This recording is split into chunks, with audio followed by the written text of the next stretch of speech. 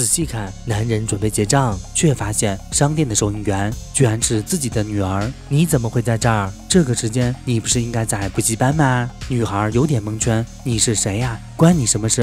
什么？我是你爸？还装不认识我？两人吵了起来。这时老板来了，你们是同学吗？男人表示这是我的家事，我是他爸爸。你这个疯子！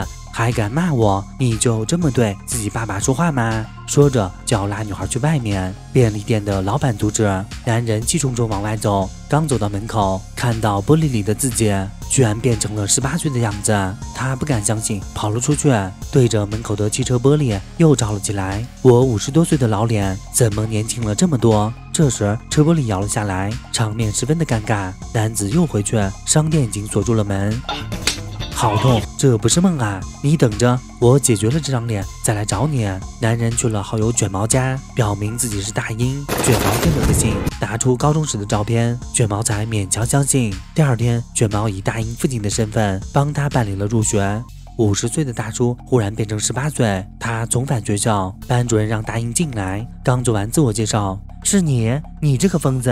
原来大英和女儿诗雅是一个班的。老师让诗雅坐好，对新同学要友善。大英入座，看着旁边的男同学，好久不见你，长大了不少啊。这个男生小学就是女儿的同学，他一脸懵，我认识你吗？这我们是一个小学的，好吧，以后互相帮助。正在上课，大英的手机响了，是妻子来电。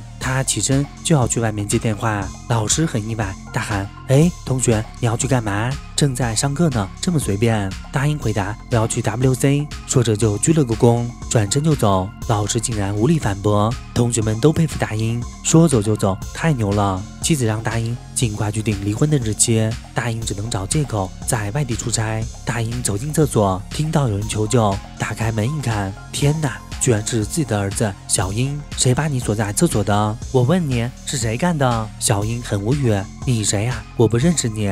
大英表示自己是转学生，到底是谁欺负你？儿子让他别打听，小心惹上麻烦。孩子被欺负，大英当然不能善罢甘休。他跟着儿子来到食堂，就在这时，校霸走了进来，就是他把小英锁在厕所的。校霸多嚣张，来食堂都带着一群小弟。小英让大英赶紧低头，大英转身，看来就是这个小子。校霸走到小英旁边，竟然拿篮球砸小英的头，小英不敢反抗。校霸临走还不忘嘲讽：“就你这样的还有朋友？”大英当时就怒了，敢在我的面前欺负我儿子！喂！顿时所有的目光聚集在大英身上。大英招手：“你给我过来！”校霸不屑一顾，把篮球砸向大英。校霸惊了，但还是保持镇定：“把球还给我！”校霸害怕的抱着头，样子非常怂，大家都看到了。大英表示，在我的眼里，你就是一个毛都没有长齐的小屁孩，惹得众人哄堂大笑。校霸怒了，在学校只有我欺负别人的份，还没人敢这么对我。眼看就要动手，教导主任及时赶来，两人的梁子就此结下。心情郁闷的大英想来教学楼后面抽根烟，发现这里还有个女孩。等他转过身来，居然是自己的女儿诗雅。喂。小小年纪还学会抽烟了，诗雅也不给他面子，你丫的也来这抽，还说我。就在两人争吵的时候，诗雅看见体育老师来了，撒腿就跑，老师从后面对着大英的脑袋就是一下。崔日全，高中同学居然变成体育老师，老师双手揪住大英的耳朵。作为学生还敢抽烟？你看着满地的烟头，说还有谁和你一起抽烟？大英知道自己的话诗雅肯定不听，只能让教导主任教育了。主任拿起左边的夹子就往诗雅头上打，怎么能小小的年纪就抽烟？说着又往头上来了一下。大英受不了了，敢打我的宝贝女儿，我都舍不得打。准备打第三下的时候，大英及时握住主任的手腕，嬉皮笑脸反过来和教导主任讲大道理。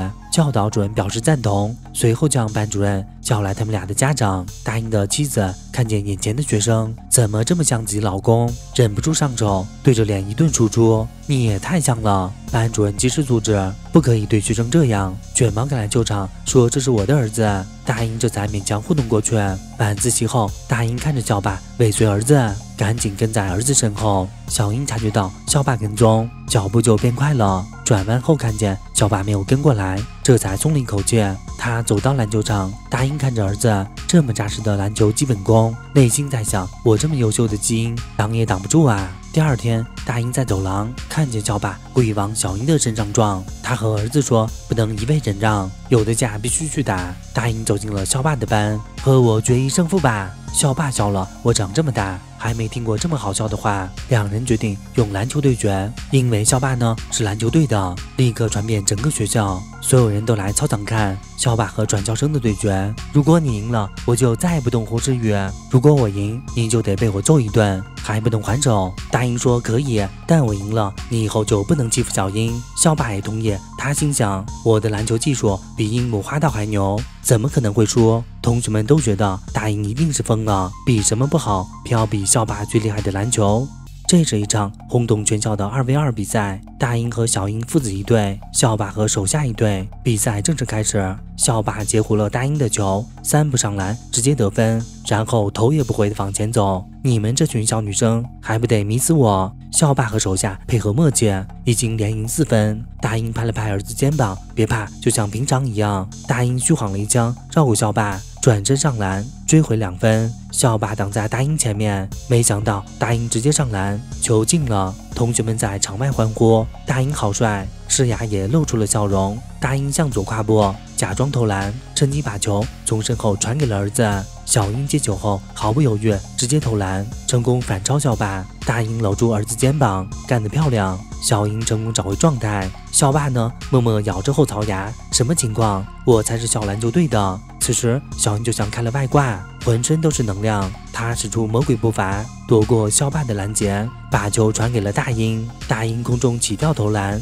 到了最后时刻，双方不断的变化站位。大英控球，背对校霸手下，假装往左路进攻，趁机在右边把球给了儿子。此时后边没有防守，小英振臂一挥，成功进球，赢了。大英欣慰地看着小英，我的儿子就是优秀。校霸输了球，准备离开，被大英拦住，自己种的果自己吃。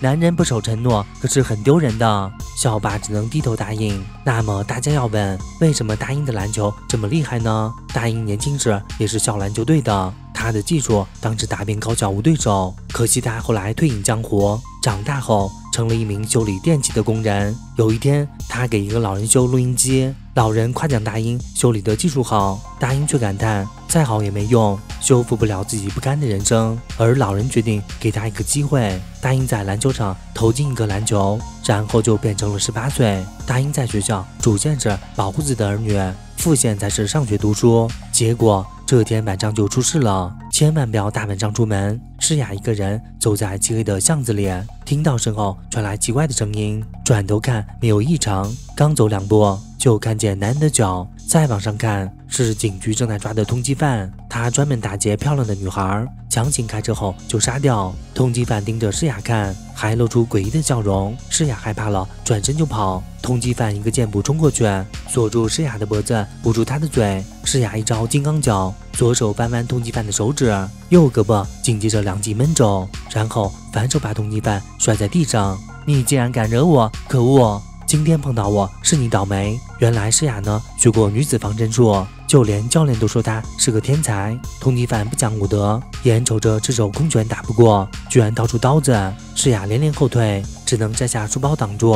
通缉犯看到诗雅，嚣张的笑了。关键时刻，诗雅看见书包上的警报器，一把扯下，趁通缉犯环顾四周，抓紧往亮的地方跑。就在通缉犯马上抓到诗雅的时候，大英及时赶到，通缉犯被踹飞在地，刀子也掉了。大英反手制服了通缉犯，抬头一看，居然是自己的女儿诗雅。大英更加愤怒，马上就要把通缉犯的胳膊压断。通缉犯被带回了警局，警察却没当回事儿，以为是普通的骚扰案。通缉犯的智商很高，说自己才是受害者。大英和妻子听到这话，直接怒了。上前就对通缉犯进行混合双打，赶来的诗雅的奶奶也加入战斗。警察见状也不拦着，这种垃圾就欠收拾。大家感谢大英保护了诗雅。这时，大英的假爸爸卷毛也来了。大英的妻子对大英和诗雅说：“要么这样，你俩毕业后就结婚吧。”答应该怎么办呢？本片完，本片角再次十八岁。本期问题：如果能回到小时候，你想回到多少岁呢？发到评论区哦。不乐想回到小学，比柯南大几年级都行。那时候真的是无忧无虑，也跟柯南的侦探队一样，跟小伙伴各种冒险。本片好看，推荐看原片。好了，本期内容就到这了，记得给伯乐点赞，还有关注和订阅。我们下次见啦，拜拜。